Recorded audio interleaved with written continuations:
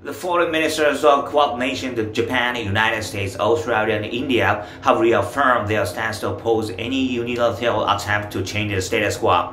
Japanese Foreign Minister Hayashi said it is important not to allow any attempt to change the status quo by force in any part of the world, as well as to maintain international order based on the rule of law. Regarding the situation in Ukraine, four top diplomats agreed that peaceful resolution of the conflict should be respected.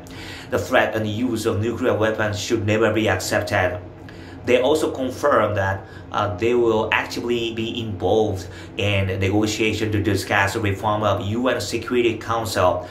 As it has been pointed out, the body has been dysfunctional over the situation in Ukraine.